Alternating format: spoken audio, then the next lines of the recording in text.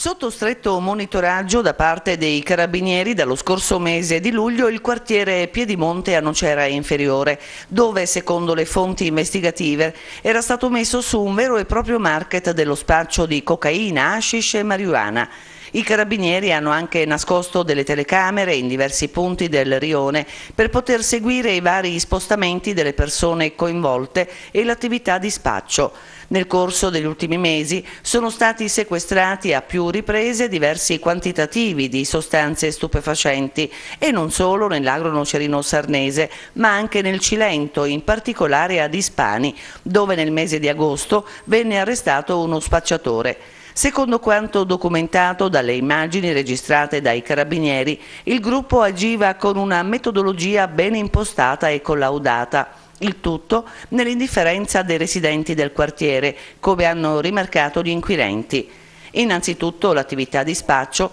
aveva un suo orario dalle 14 alle 20 di ogni giorno nei pressi di un crocifisso all'incrocio tra via Urbulana, via Allende e via d'Aragona veniva contrattato l'acquisto della dose che veniva poi ceduta dalla stessa persona, l'acquirente, ma in un posto diverso, di solito nei pressi di alcuni istituti scolastici del Rione e dopo alcune ore. In casa di una coppia arrestata nel blitz di questa mattina, secondo gli inquirenti, le sostanze stupefacenti venivano pesate e confezionate, mentre in un garage di proprietà di un altro degli arrestati sono state sequestrate armi e munizioni. Questa mattina il procuratore della Repubblica di Nocera Inferiore Giovanni Francesco Izzo, il sostituto procuratore titolare delle indagini Marielda Montefusco e il comandante del reparto territoriale dei Carabinieri di Nocera Inferiore, maggiore Matteo Gabelloni, hanno illustrato i dettagli della complessa operazione